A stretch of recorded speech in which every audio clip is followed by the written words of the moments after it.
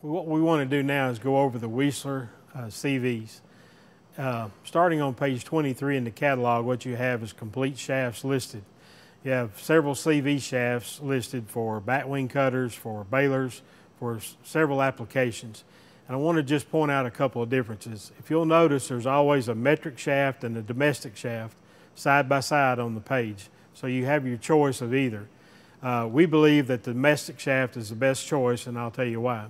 When you look at the metric, all metric shafts, uh, the CV joint in the middle is a ball and socket. So really, when it goes in there, you only got contact on one point on that ball most of the time. Where on the Weasler CV, what we have is we have a, a cutaway right here, and on the Weasler CV, we actually have a centering plate with a shaft that goes through, and you have actually have line contact instead of point contact on it.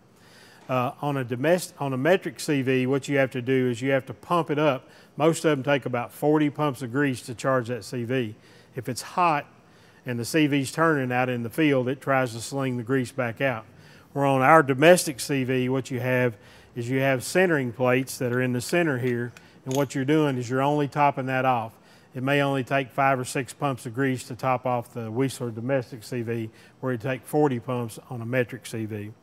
The other thing you have is you have a patenting greasing system where when we grease, actually grease from right here on the side where the cutaway is, it greases all the way through the center, greases the whole thing into the other side.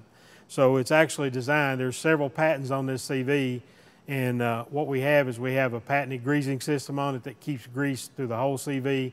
It gives you much longer life and a much more consistent return.